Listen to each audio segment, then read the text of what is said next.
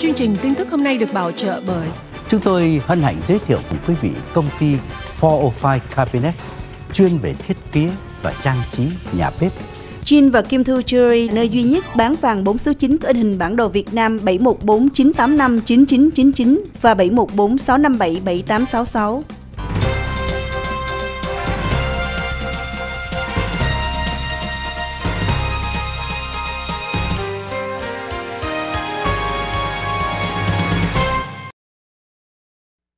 Hồi nãy chúng tôi đề cập đến ketchup.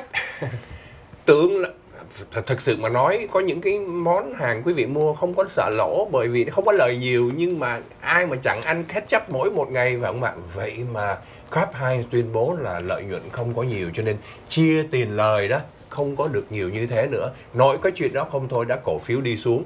Thì cái nhân vật mà mua ketchup nhiều nhất và ông cũng mê ketchup nhất đó là Warren Buffett quý vị thấy hãy mà nhắc tới tên Warren Buffett là quý vị biết nhà tỷ phú đại tài bởi vì các nguồn đầu tư của ông quá hay. Vậy mà quý vị nhìn thấy cái hàng chữ không? Chỉ trong vòng một ngày thôi ở single day thôi ketchup đã lấy mất tài sản của ông. 4 tỷ Mỹ Kim.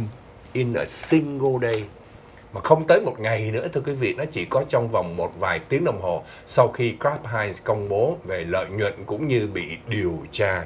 Cho nên thấy à, có những việc mà ông à, Warren Buffett không thể nào mà tiên đoán trước được và đó cũng là những gì nó xảy đến với thị trường tài chính được không ai có thể định ra được cái khuynh hướng như thế này. Ông giữ cái cổ phiếu Capheim có thể nói rằng đã mấy chục năm nay rồi ông cứ mua ông để đó. Và thậm chí khi xảy ra những cái trường hợp như vậy cũng còn mua thêm nữa. Bởi vì ông nói không bao giờ người ta không uống khốc không bao giờ người ta không ăn ketchup cũng như không bao giờ người ta không tắm cả.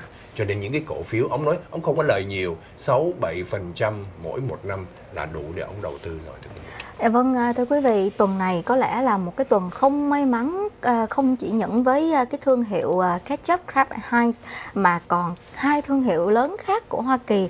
Thứ nhất đó là Johnson Johnson và thứ à. nhì là Nike thưa quý vị. Oh, Nike bị luôn. Dạ vâng. Mua giày nhiều như vậy mà vẫn Dạ đúng rồi. Wow. À, thưa quý vị, đầu tiên đó là uh, Johnson Johnson thì ngày hôm qua tin mới cập nhật cho biết là à, Bộ Tư pháp Hoa Kỳ đã gửi trác tòa yêu cầu Johnson Johnson phải nộp tất cả những cái hồ sơ những cái bản báo cáo nội bộ mà liên quan đến cái vụ à, phấn rôm à, từ cả mấy thập niên nay liên tục bị kiện và là nguyên nhân cho gây ra ung thư cho các người phụ nữ mà đặc biệt là ung thư à, à buồng trứng. À, quý vị cũng còn nhớ là cách đây à, vài tháng có một cái báo cáo đưa ra cho thấy là thập niên 50 Johnson Johnson đã à, được năm cái phòng thí nghiệm tư nhân ở bên Ý họ à, cảnh báo là cái chất thao cầm của trong phấn rôm Johnson Johnson không có đủ tiêu chuẩn và có thể gây nguy hiểm cho cơ thể. Nhưng mà khi đó Johnson Johnson đã giấu nhẹm những cái báo cáo đó đi và họ phủ nhận là có những cái báo cáo này thì Bộ Tư pháp này à, họ đưa ra trác tòa yêu cầu à, phải nộp à, những cái bằng chứng và họ tiếp tục điều tra về cái vụ này và ngày hôm qua cổ phiếu của Johnson Johnson đã rớt hơn 1% khi mà cái tin này được đưa ra thưa quý vị. Và kế tiếp đó là Nike. Thì à, quý vị cũng biết là Nike từ bao nhiêu lâu nay là cái à, thương hiệu lớn và lúc nào cũng tài trợ cho các cầu thủ yeah. ngôi sao đặc biệt là basketball uh, mà đặc biệt là những uh, cái uh, nhân tố nổi bật mà được uh, NBA draft họ pick từ ở uh, high school lên nhưng mà đầu tuần này thì có một cái uh, tin rất là xấu cho Nike đó là cái loại giày uh, PG 2.5 cái loại giày mới mà được Nike uh, Cả một năm trước họ bỏ ra đến 11 tỷ rưỡi để mà quảng cáo cho cái loại giày này. Wow. và đưa cho cái anh hiện nay đang là người uh, rất được chú ý có thể xem là uh, người kế nhiệm của LeBron uh, uh, đó là Zion Williamson thưa quý vị. Nhưng ừ. mà trong một cái trận thi đấu hôm uh, thứ tư thì cái hình ảnh này hiện nay đã được đến 4 triệu người theo dõi. Quý vị cũng thấy anh Williamson ảnh đang dẫn banh thì ảnh bị sượng lại và cuối cùng ảnh té. Quý vị cũng thấy cái chiếc giày bên chân trái của ảnh nó bị tét làm đôi Uh. và đó là chiếc giày mà à, Williamson đang là người đại diện à, Nike PG no. 2.5 thưa quý vị. Dạ vâng, thì à, hiện nay à, stock của Nike cũng vừa bị rớt khi mà cái à, cái cái vụ Ừ. này bê- được à, quay trên truyền hình như thế này và bởi vì Nike trước giờ được à, biết là đồ rất là chất lượng mang Yeah. mấy, mười mấy năm không hư nhưng mà hiện nay cái đôi giày này mới vừa được đưa ra từ năm ngoái mà nay anh này ảnh vừa mới mang trong trận đấu lại khiến ảnh bị té và bị thương như thế này thì là ảnh hưởng vô cùng cho đến uy tín của Nike. Thực ra đây chỉ là trường hợp biệt lệ thôi ảnh nhảy mạnh quá, tét thôi, chứ đâu phải là nguyên tất cả giày nó bị hư đâu. Nhưng mà no way, thưa quý vị, Ở Mỹ này mà chỉ cần một cái tai nạn nho nhỏ thôi Và ồ, nhãn hiệu PG 2.5 quá nhiều.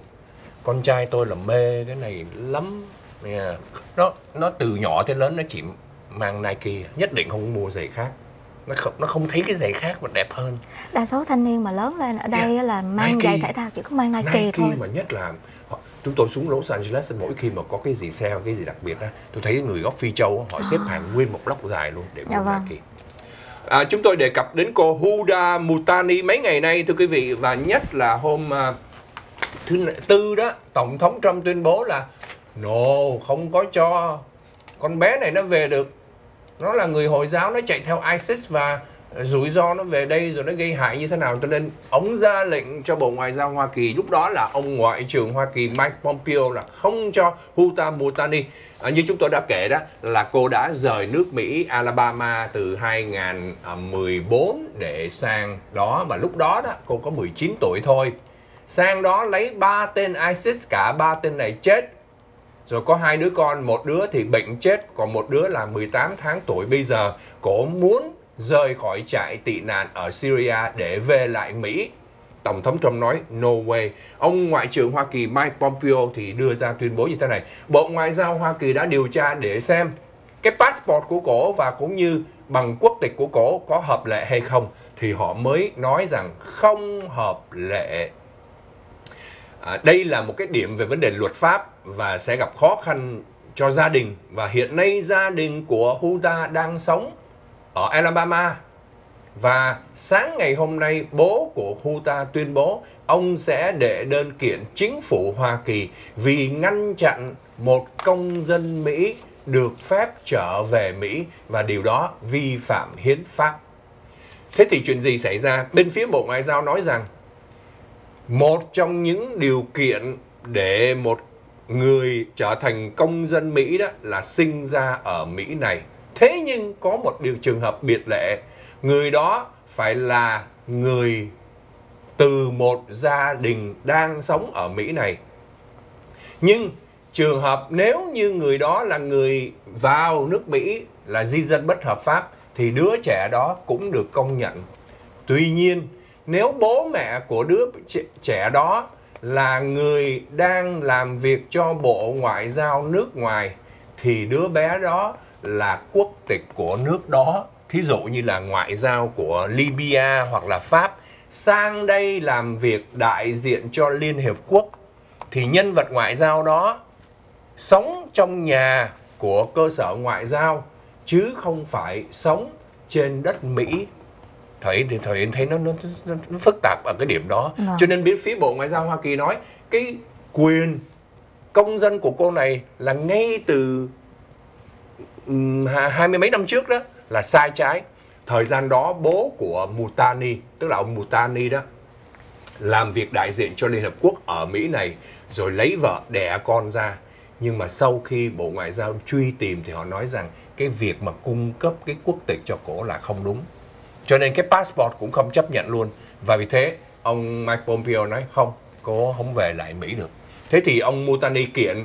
Và ngày hôm nay, Huda Mutani có những cái tuyên bố nào? Chúng ta nghe, chúng ta cũng thấy giật mình luôn nữa. Mời quý vị theo dõi ngay sau phần quảng cáo.